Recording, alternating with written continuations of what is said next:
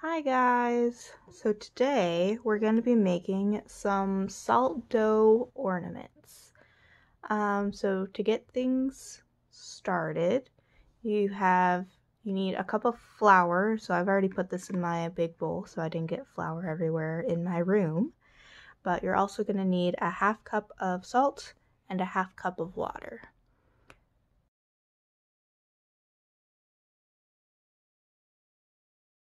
Let's go ahead and get things started. You're just going to go ahead and pour all your ingredients into your mixing bowl. So I'm going to go ahead and pour my water in.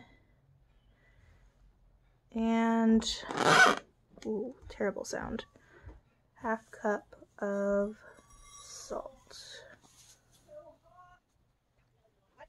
Uh, one thing that you may want to remember is these are going to take two hours to bake. So before you start this process, um, no. Um, before you start this, you want to make sure that you have the time to actually finish. All right, and our half a cup of salt, and I got salt. I spilled the salt.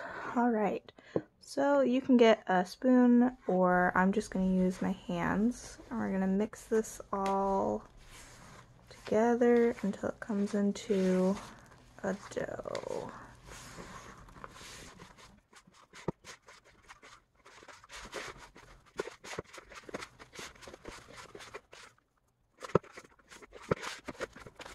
And you can see that my dough is pretty much done now. I'm just going to knead it a little bit just to make sure it gets completely mixed together.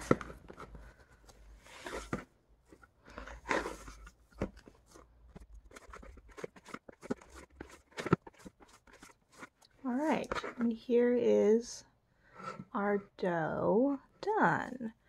So I'm now going to get out the rest of our supplies that we need to make our ornaments.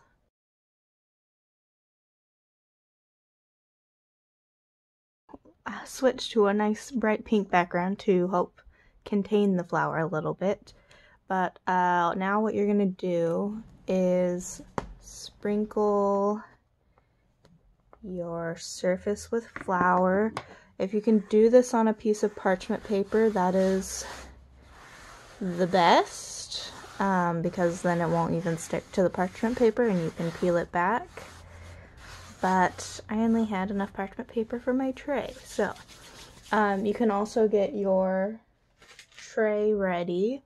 So I have my baking tray with a piece of parchment covering the whole thing um, because as we get our ornaments done, we're going to be putting them on the tray.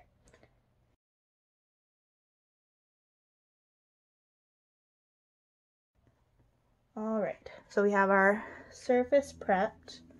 I'm just grabbing our dough, and I think I'm only going to use half of our dough just to make sure I have enough room, but you can roll out all of it at once if you want. And go ahead and plop it in your surface.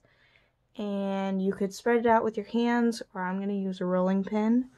And if you use a rolling pin just make sure you flour it a little bit so your dough doesn't stick to your rolling pin either. And we're going to roll it out until oops it's sticking a little bit still. Um, until it's about a quarter inch thick which is should be like, for me, it'll be like half of my first knuckle.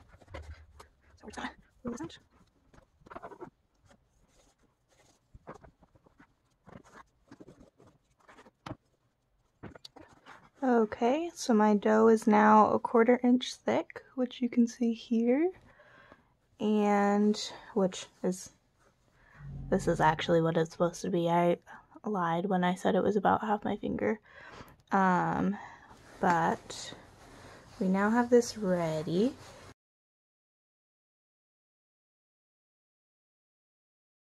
You can, I'm going to use mainly cookie cutters, but you could also just freestyle your ornaments with a butter knife. Um, but let's go ahead and grab some cookie cutters. We'll do a heart and just press all the way down, wiggle it around, and if you can pick it up and out, that's great. And I'm gonna grab other ones. I have a musical note, so I'm gonna do a musical note.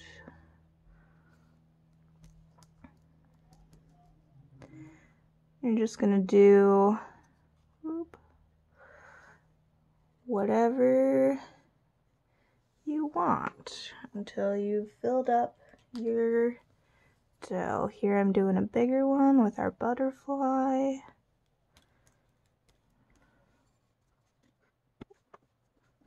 And when you pick them up, you want to be kind of careful because they'll stretch and pull if you have them too, if you don't hold them flat enough. Um, so you just want to be careful of that. I think I'm actually going to do this right here.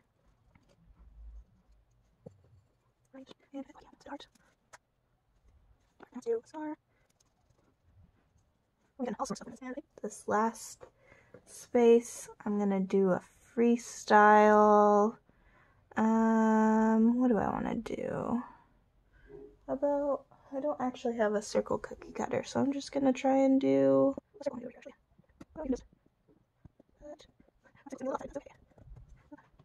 Alright, and. And. And this one, I don't really want the stem, so I'm just going to push it down so it only uses the part I want. And I still have a little bit of the stem there, so I'm just gonna part out.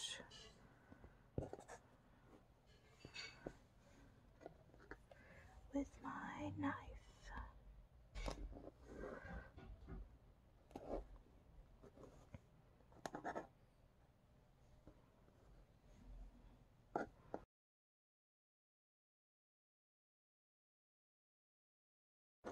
Okay, and all of your scraps you can just roll up into a ball and then roll out again to make even more ornaments. So I'm going to put this back with our other dough for now. And all the other ornaments that we've made, they right now they're not quite ornaments. We still have to put the holes in so we can hang them up. So in order to put the holes in, um, you just need something to poke the holes. So I'm going to use straw, but you can use, you could use like a pen or a pencil or even like a bamboo skewer, whatever you have handy that'll just make a large enough hole. And when you do your holes, you just want to make sure that they are far enough away from the edge that when it bakes, it's not going to break. And once you have your hole, you can go ahead and place it over on your cookie sheet that has the parchment paper. So this one, I think I'm going to put the hole right here. We have that one. And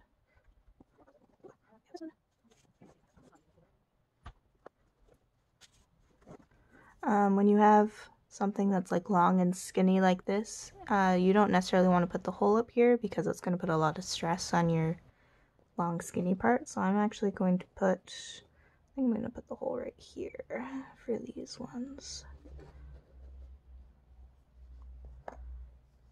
We have one, and there's nobody here.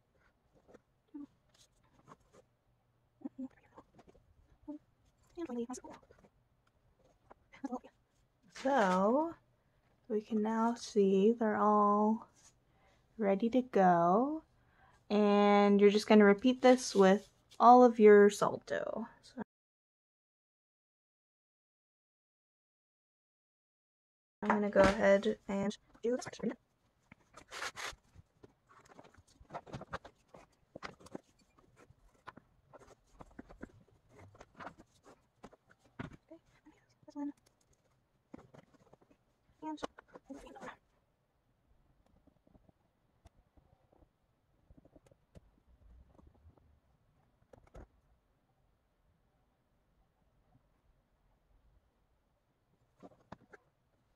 You can see here with this one, I did a little snail. I don't know, um, this indent I didn't cut all the way through, so if I flip it over, you can see it's still all in one piece.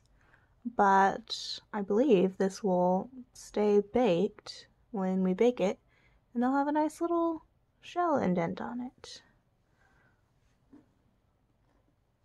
Um,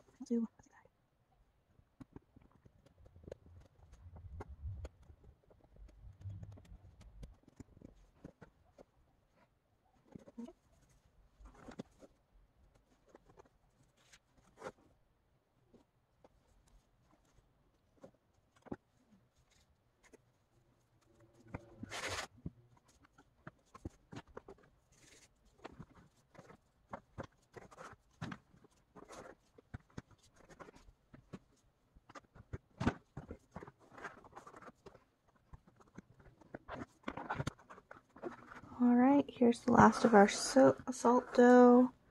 Um, I did not roll this very evenly. You can tell here that it's really thin all over here. It's pretty thick. Um, so I don't think that'll be too much of an issue. Just one thing to be watch to watch out for. If you roll it out thinner, your dough will probably cure faster than if it's thicker. Um, and if it's thicker than a quarter inch, it may take even longer than two hours to cure. But I'm gonna go ahead and actually roll out this.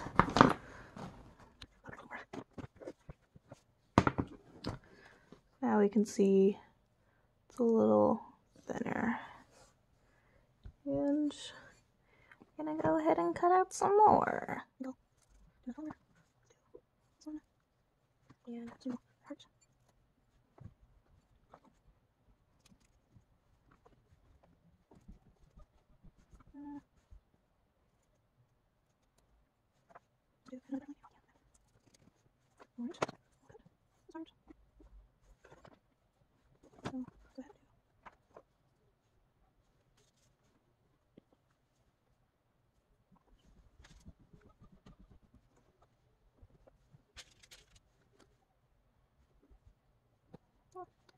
So you can see with that one, I didn't have enough flour on the surface down here.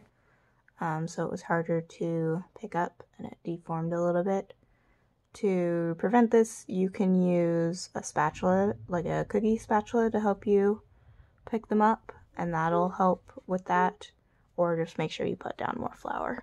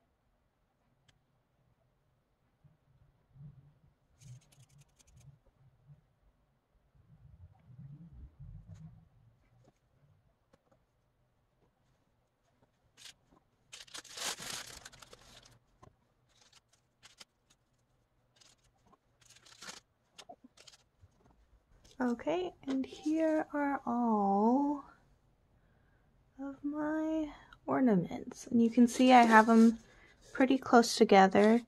Um, I don't think they should spread at all, so I think you can have them close. Um, and because we're basically just dehydrating them in the oven. We're not really like baking, baking them. So now these are going to go in the oven at 250 degrees Fahrenheit for two hours.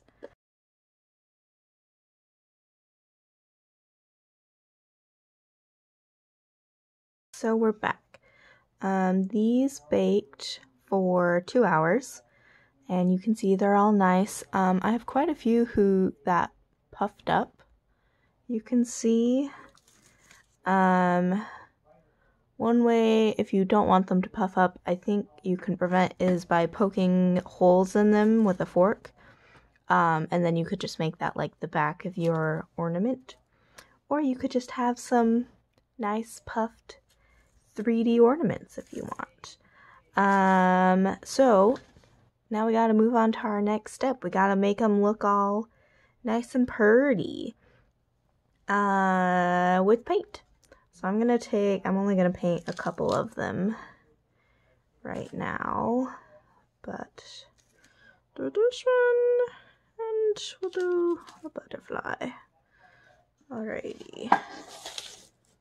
So, I have my lovely plate and my salt. Oop move these down so they're in frame for you.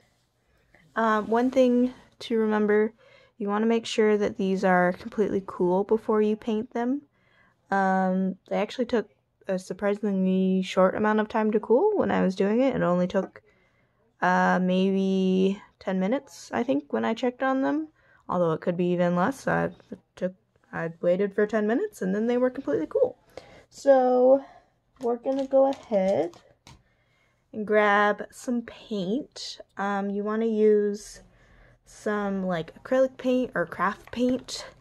Um, the rest. But, always up.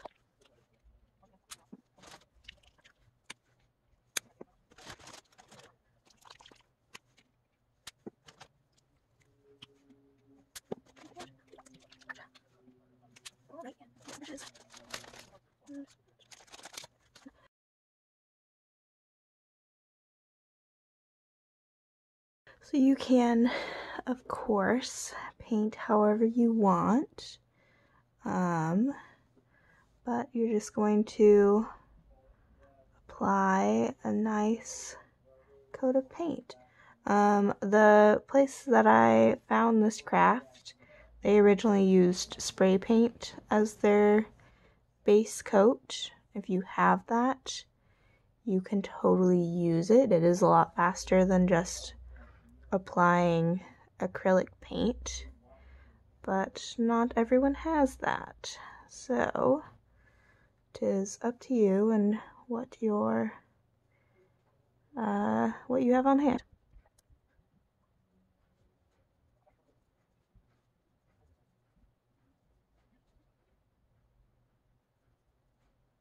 You can see here that I'm painting the edges um, I'll also eventually paint the back of it as well once this front dries.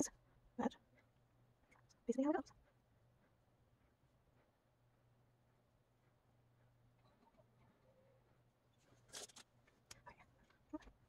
goes.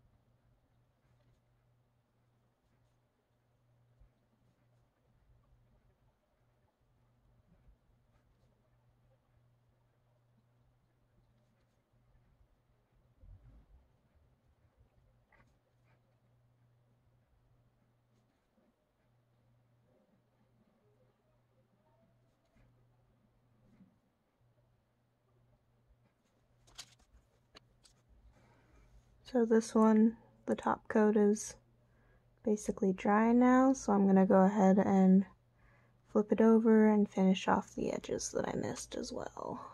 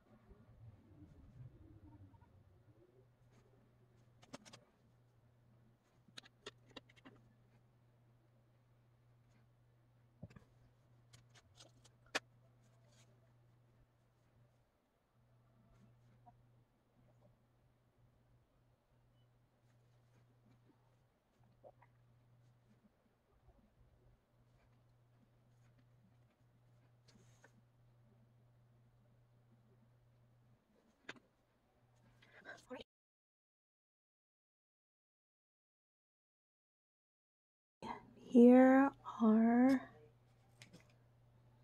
Oh, I need to finish painting the side on that one. Here are my four ornaments. I'm going to let them dry a little bit longer and then I'll put the strings through. And I, of course, have a whole tray full left to paint, but I think I'll save those for another time. One thing I forgot to add is that once they are all painted, you can, if you have it, you can go ahead and add a clear sealant on all of them, uh, front and back, and that'll just help the paint stay on even longer, preserve it even more.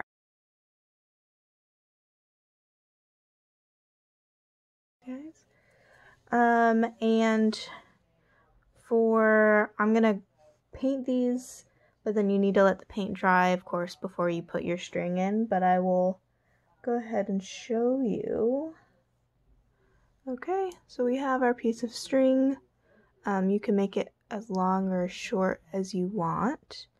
Um, but then, of course, you just poke it through after you've painted it and pull it through and up here we'll just tie a knot. So if you go around so you have a cross and then you can push these ends through the loop that you made. Come on. And then pull tight. So you'll pull on both ends. I'm not I'm gonna paint this first so I'm not actually gonna pull it tight but that is what you would do. And then you have a nice hanger for your ornament. And you can hang it up wherever you want. But we gotta paint.